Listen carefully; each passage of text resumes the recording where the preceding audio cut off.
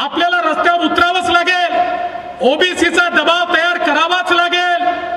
ओबीसीच्या दबावाखाली या सरकारला निर्णय घ्यायला भाग भाग पाडावंच लागेल. मला आश्चर्य वाटतं मंत्रीच त्या ठिकाणी मोर्चे काढत होते. अरे मोर्चे काढण्यापेक्षा सर्वोच्च न्यायालयामध्ये जाऊन बाजू मांडली असती तर आरक्षण टिकलं असतं. आजही बघा आजही पाच जिल्ह्यांच्या निवडणुका घोषित झाल्या. पन्नास वर्षानंतर पहिल्यांदा एकही ओबीसीची सीट नाही एकही नाही.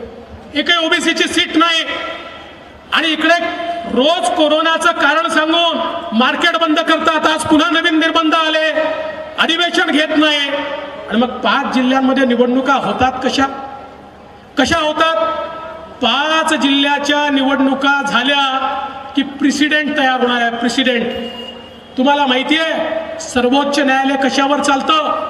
ते प्रिसिडेंटवर चालतं. प्रिसिडेंटवर एकदा पाच जिल्ह्यांच्या निवडणुका ओबीसी आरक्षणाविना झाल्या की दोन हजार बावीसच्या सगळ्या निवडणुका ओबीसी आरक्षणाविना घेण्याकरता या सरकारला प्रिसिडेंट मिळेल. प्रेसिडेंट आणि सर्वोच्च न्यायालय देखील त्यावेळेस म्हणेल देर इज अ प्रेसिडेंट तुम्ही पाच जिल्ह्यांच्या निवडणुका ओबीसी आरक्षणाशिवाय घेतल्या.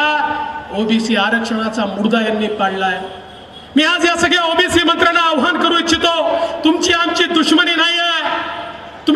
कुठल्याही पक्षात असा पण जर ओबीसी प्रति इमानदार असाल तर आम्ही तुमच्यासोबत उभं राहायला तयार आहे.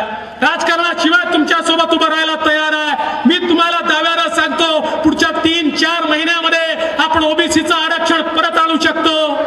नव्हे मी तर या ठिकाणी सांगतो की खऱ्या अर्थानं आमच्या हाती जर सूत्र दिली तर मी दाव्यानं सांगतो या ठिकाणी ओबीसीचं